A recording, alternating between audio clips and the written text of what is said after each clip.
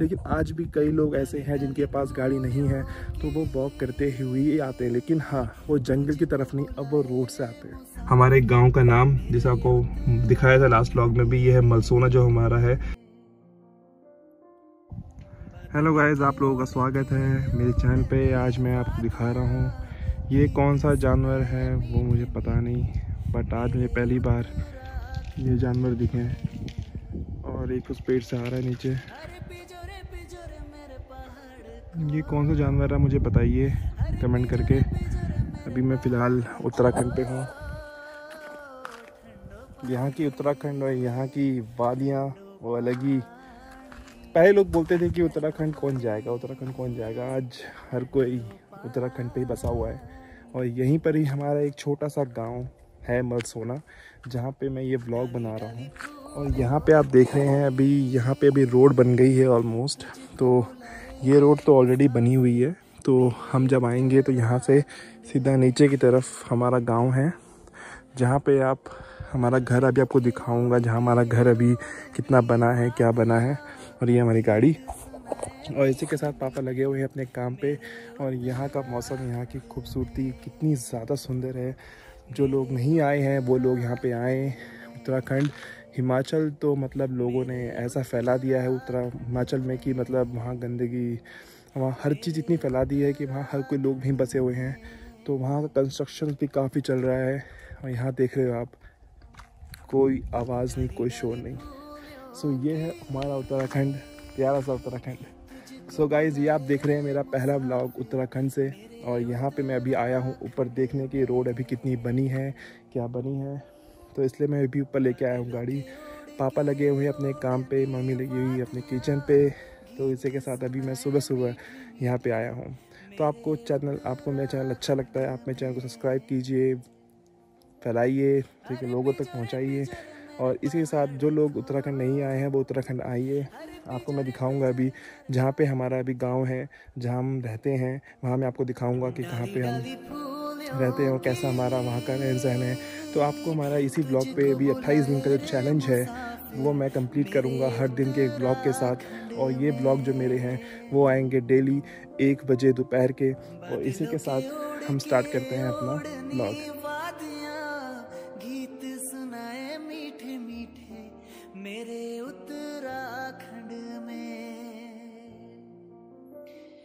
so guys welcome to our channel ये है हमारा गाँव जिसका नाम है मलसोना। और यहाँ पे आपको सब कुछ ए टू जेड जितनी भी फैसिलिटीज़ हैं वो आपको देखने को मिल जाएँगी क्योंकि पहले यहाँ फैसिलिटीज़ नहीं थी रोड नहीं थी। हम पहले ऊपर से यहाँ से भी नहीं हम कहेंगे कि इस पहाड़ से काफ़ी ऊपर हम चल के आते थे।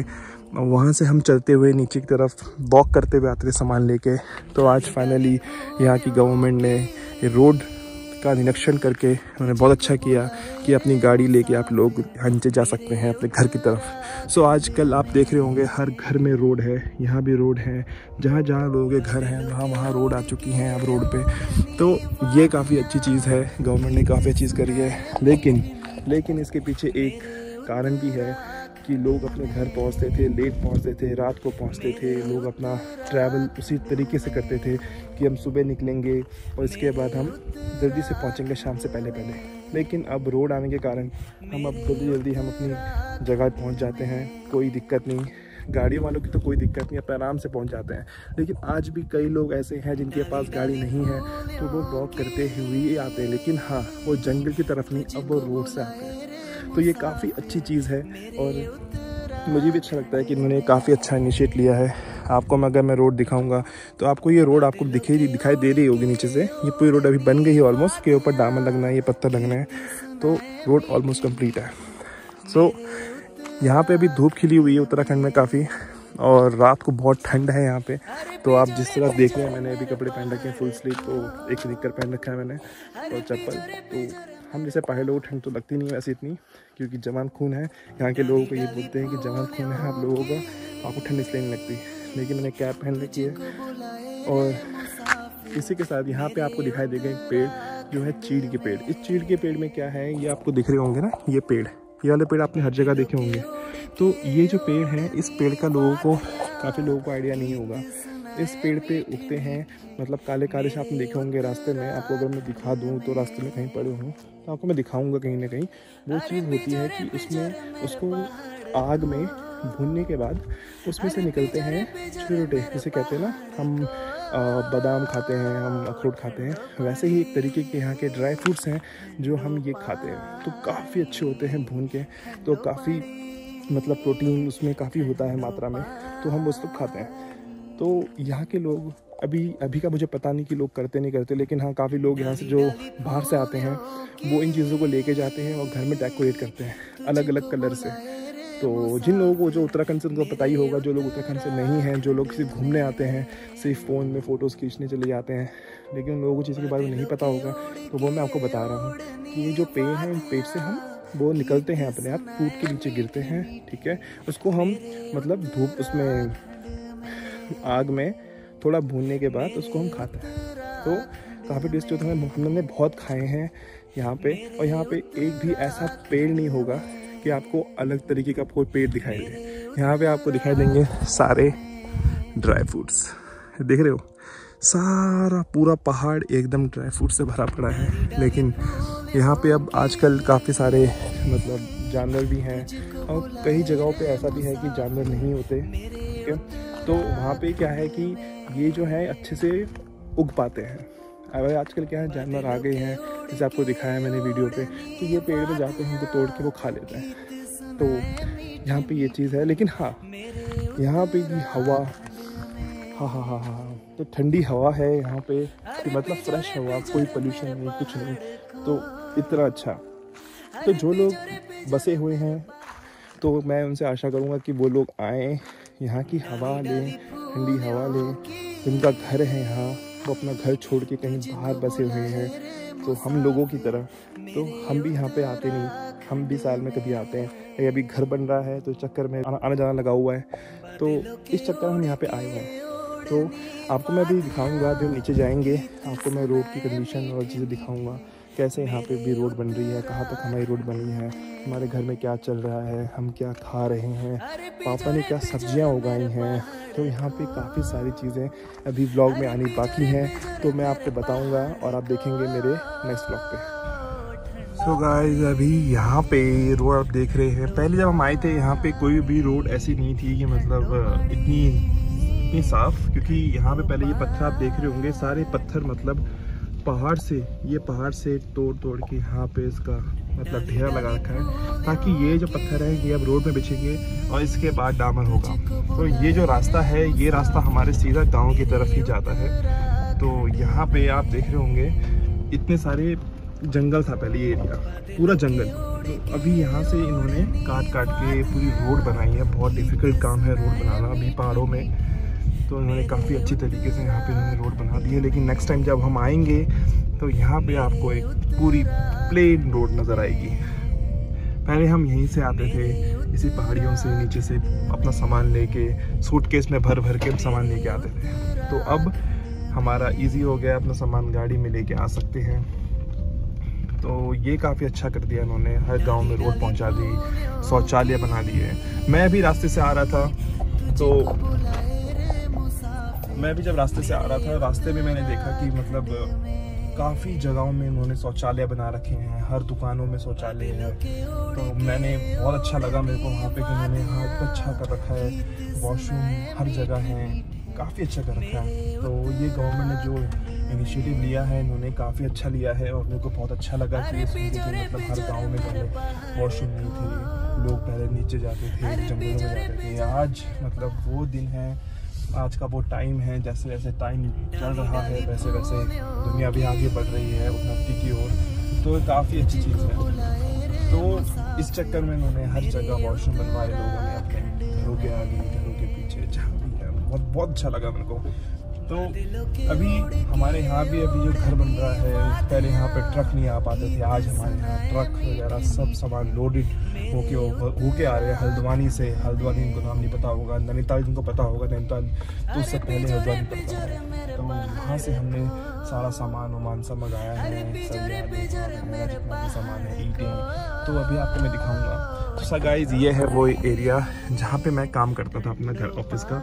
ये वो एरिया है जहाँ मैं हमेशा आता था अपना काम कर नेक्स्ट नेक्स्ट टाइम जो मैं इससे पहले आया था, मैं यहीं पर बैठ के अपना काम वाम करता था, ताकि यहाँ पे नेटवर्क बहुत अच्छा आता है 5G आता है यहाँ पे। तो नीचे नीचे जाओगे, वहाँ भी नेटवर्क यहाँ पे खाली मोस्टली जियो चलता है, और जियो के बाद एयरटेल थोड़ा ऊपर आता है। तो जो लोग पहाड़ आते हैं, वो अपना जियो साथ जियो को हमेशा साथ में रखे हैं डुअल सिम तो आप देख रहे होंगे नीचे धीरे धीरे नीचे जा रहे हैं, गाँव आ रहे हैं। तो यहाँ पे हम अपना जैसे कहते हैं ना, गेहूँ पिसाना, हम यहाँ पे आते थे। तो एक टाइम था जब इस गाँव में आते थे हम, गेहूँ पिसाने के लिए। तो अब यहाँ पे हर जगह, हर रोड पे आप देख रहे हो, रोड पूरे घर तक पहुँच रही है। तो ये काफ़ी अच्छी चीज़ है। पहले तो ये चीज़ नहीं हुआ करती थी, हम दौड़ते दौड़ते आते थे ऊपर से। लेकिन वो भी अलग एक्सपीरियंस था और आज का एक्सपीरियंस भी अलग है। तो उस टाइम क्या थे कि सब लोग पहले फिट थे। जिसे कहते हैं ना, सब लोग फिट होना। तो उस टाइम सब लोग फिट होते थे और सामान लेके सूटकेस लेके आ रहे थे नीचे। सामान भी इतना होता था कि आप सिर्फ़ अपने कपड़े वपड़े हाथ में लेके ऊपर से पहाड़ से नीचे आना। हम चलते थे दोपहर में और हम आराम से सात आठ घंटे की ट्रैक करके नीचे आते थे। तो वो भी एक अलग एक्सपीरियंस था और आज का भी वो अलग एक्सपीरियंस है कि आज गाड़ियों से अपने वहाँ पहुँच रहे हैं। बेनिफिट और हर जगह है बेनिफिट उसमें भी था इसमें भी है उसमें भी कई चीज़ें थी कि हम मतलब फिट रहते थे आज हम गाड़ियों से घर पहुँच रहे ये भी अलग है वो भी अलग चीज़ है तो काफ़ी अच्छा लगा आप देखो कितना पहाड़ काट दिया। पूरा पहाड़ काट दिया उन्होंने रोड बनाने के लिए।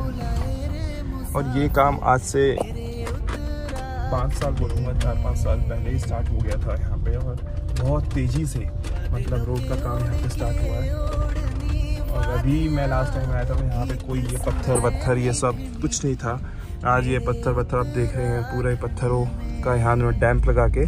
अब इस पर अब रोड पर काम होगा। पहले यहाँ रोड इतनी गंदी थी कि मतलब जिसे कहते हैं, बड़ी गाड़ियाँ ही आ सकती, छोटी गाड़ियाँ तो ऊपर लेके नहीं आ सकते थे ट्रक नहीं आ सकते थे यहाँ पे। अब यहाँ पे ट्रक वगैरह सब आते हैं। तो धीरे धीरे ये रोड भी चौड़ी करेंगे और यहाँ पे आराम से थ्री लेन की या फोर लेन की रोड बन जाएगी। तो अभी कुछ टाइम बाद आपको देखने को मिल जाएगा। जब नेक्स्ट टाइम आऊँगा, आपको दिखाऊँगा यहाँ पे हमारे गाँव की रोड जो है, वो कितनी अच्छी तरीके से उन्होंने बना के रख दी है। और यहाँ पे अभी जो मौसम देख रहे हो ना, धूप आपको लग रही होगी, धूप है, सब कुछ है, लेकिन हाँ लेकिन हवा में ठंड है। आप अभी आप टेम्परेचर देख रहे हो बाहर का तो यहाँ पे दिखा रहा होगा 18 डिग्री। ये देखो 18 डिग्री सेल्सियस ठीक है? तो 18 डिग्री सेल्सियस यहाँ पे अभी टेम्परेचर है। लेकिन आप बाहर जाओ तो आपको ठंड लगेगी क्योंकि हवा चल रही है और ठंडी हवा चल रही है धूप में तो फिर हवा ठंडी हो तो ठंडी ही लगती है। तो इसे मैंने फुल स्लीव पहना था यहाँ पसीने का कोई नाम नहीं अगर यही मैं मतलब बोलूँगा कि जहाँ पे मैं गर्म में अगर मैं रहता तो इस कपड़ों में तो पसीना ही पसीना जाता लेकिन यहाँ पर बिल्कुल नहीं है। सो so, आपको मैं दिखाऊँगा अभी ये है हमारे गाँव का नाम जिसे आपको दिखाया था लास्ट ब्लॉग में भी ये है मलसोना जो हमारा है टनियार ये भी इस तरफ़ है कचौली वो भी इस तरफ़ है। सो so, आप ये तीन जगह है जो हमारे गाँव पड़ते हैं टनियार मलसोना कचौली। ये इसी साइड पड़ते हैं हमारे गाँव की साइड जहाँ पे हमारा रास्ता हम जाएँगे अभी। तो यही रास्ता है। तो अभी चलते हैं वहाँ की तरफ़। आपको दिखाऊँगा अभी क्या काम चल रहा है पापा मम्मी क्या कर रहे हैं। तो आपको धीरे धीरे वो चीज़ें दिखाऊँगा। तो मेरे चैनल को जिन लोगों ने सब्सक्राइब नहीं किया है वो मेरे चैनल सब्सक्राइब कर लें। और आपको आने वाले ब्लॉग पे अभी बहुत चीज़ें देखने को मिलेंगी। यहाँ पे पापा ने क्या काम कराया है घर पे पहाड़ों पे घर बनाना कितना मुश्किल काम है जो हम सिटीज़ में घर बनाते हैं। और सिटीज़ में घर बनाना मतलब वो तो ऐसा है कि यार बुक करो ले आओ लेकिन यहाँ पे मतलब ढाई सौ तीन सौ किलोमीटर चढ़ के ऊपर पहाड़ों में सामान लोड करा के घर तक लेके आना और घर बनाना, लेबरों से काम कराना। यहाँ पे आजकल लेबर्स मिलते नहीं, पहाड़ों में, आपको पता ही होगा, जिन लोगों को नहीं पता यहाँ पे लेबर्स ढूंढना बहुत मुश्किल काम है, क्योंकि वो लोग बिना उसके काम नहीं करते। तो इसीलिए पापा को खुश रखते हैं और वो अच्छे से काम कर रहे हैं और उन्होंने काफ़ी अच्छा अभी घर बना दिया है। ये सब पापा का डिज़ाइन है। तो आपको ये सब चीज़ें हमारे आने वाले ब्लॉग पे मिलेंगी। तो सर गाइज़ ये मेरा पहला ब्लॉग है आपको मेरी ब्लॉग्स अभी जब तक मैं हूँ यहाँ पे एक महीना, तब तक आपको यहाँ पे आपको मेरी हर दिन की ब्लॉग्स मिलेंगे कि हर दिन हम क्या कर रहे हैं, हमारा रहन सहन क्या है यहाँ के लोग कैसे बात करते हैं? मेरे को यहाँ की लैंग्वेज नहीं आती बट मैं समझ जाता हूँ क्या बोल रहे हैं, मैं बोल नहीं पाता बट हाँ आपको मैं उन सब चीज़ों का एक एक्सपीरियंस कराऊँगा और इन चीज़ों को आगे लेके चलते हैं। और तब तक के लिए मेरे चैनल को सब्सक्राइब करो सपोर्ट करो और काफ़ी लोगों ने प्यार दिया है। 9000 मेरे सब्सक्राइबर्स भी हो चुके हैं। एक लाख सब्सक्राइबर करने गाइस एक लाख सब्सक्राइबर जल्दी जल्दी। 28 दिन का चैलेंज है मेरा, ये मैं पूरा करूँगा। सिर्फ़ आपके लिए। तो मिलते हैं गाइज़ आपको नेक्स्ट व्लॉग पे तब तक के लिए बाय बाय अभी हम घर जा रहे हैं आपके लिए कल की वीडियो रेडी करते हैं। और बने रहिए हमारे साथ। जय देवभूमि जय उत्तराखंड।